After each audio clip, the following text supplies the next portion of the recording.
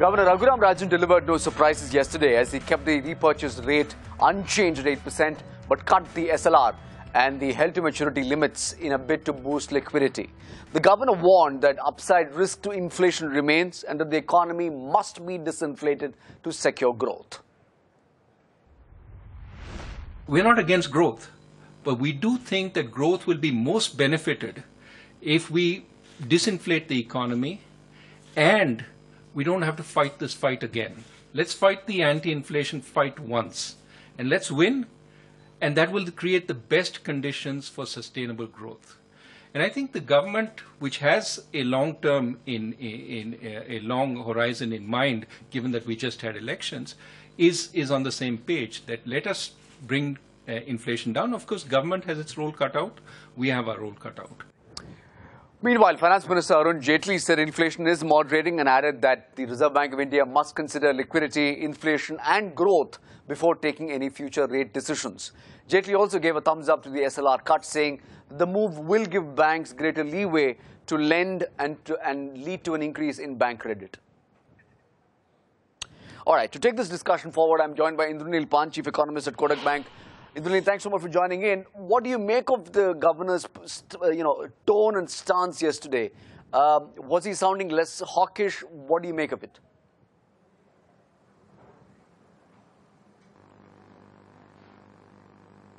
No, I think uh, uh, he was, uh, the, the policy statement actually was quite hawkish in the sense is making extremely clear now, uh, or rather clarifying the glide path in a much bigger sense. Now, the market was the sort of thinking that 8% uh, if it, if it is achieved by January 2015, we might immediately see a rate cut or even before that.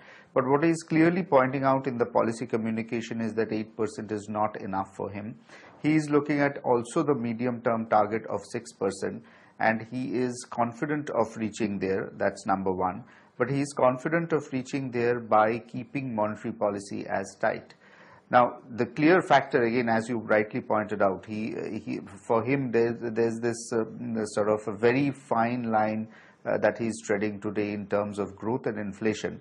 Uh, while he is attempting to uh, sort of contain inflation by keeping rates on the higher side, he is definitely sort of giving up a bit of a growth. But the moment if he, if he sort of tries to get growth up by reducing interest rates, his fear is that immediately inflation might move higher because of the higher aggregate demand in the economy. So the, the, the tightrope walk will probably continue unless uh, something changes either domestically or uh, uh globally. Sure. Uh, you know, Indranil, let me just play devil's advocate here. You know, we've, we've been down this path before. Uh, where the Reserve Bank of India has consciously sort of fought this war against inflation by using interest rate as a tool. Uh, now, my question is, if you know, global factors turn around, if inflationary conditions get worse, uh, are we to assume that we're going to stay in this high interest rate trajectory? And number two, uh, should we write off any sort of a rate cut possibility in the near term?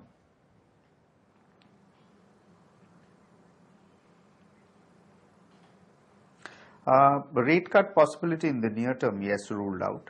Uh, I think we'll have to uh, sort of put rate cuts into perspective of the glide path target that the uh, RBI is trying to clearly point out to the market at this point in time. And in terms of the sort of fight against inflation, I think the best that I can say at this point in time is that we are in a relatively stable interest rate zone where it is the job of the RBI also to sort of manage the liquidity uh, at the shorter end of the curve and uh, sort of keep the overnight rate within the corridor that they have established uh, at this point in time, which is the 8 to 9 percent.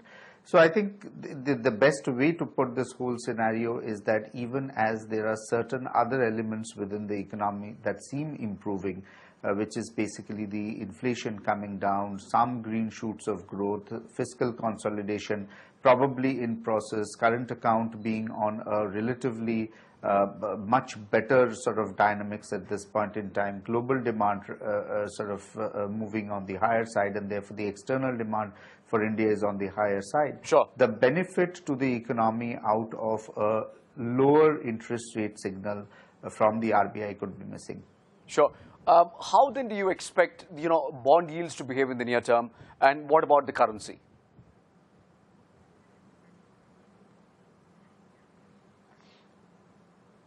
Uh, currency, I think, uh, uh, will look will probably take a lot of cues from the global scenario where the markets are tending to uh, gradually price in an eventuality of a US rate cycle increase.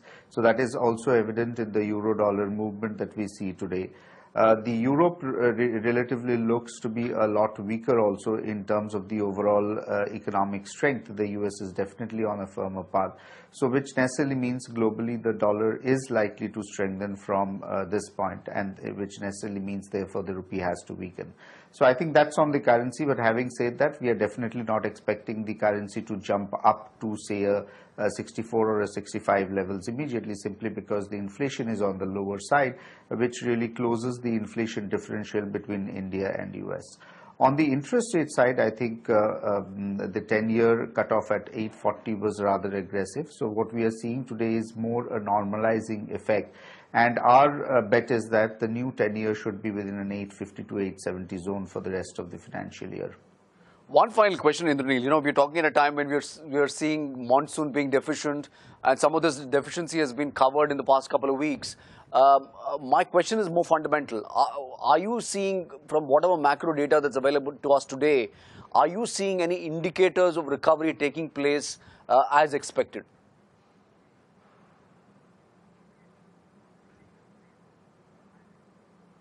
Uh, see, again, on a year-on-year -year basis, we definitely are expecting higher uh, GDP numbers in this financial year than the last. Mm. Uh, to a certain extent, we still think that a lot of these uh, uh, Im implication is out of the low base effect of the last year. But having said that, I think incrementally we should also expect that the positive sentiments that are seen in the financial markets would gradually translate into some re real effects for the real sector of the economy the consumption demand also should be relatively higher because of the higher uh, sort of income in the hands of the people. So I think we are uh, sort of, we have seen the, the, the bottom and we are looking at uh, relatively on the upside.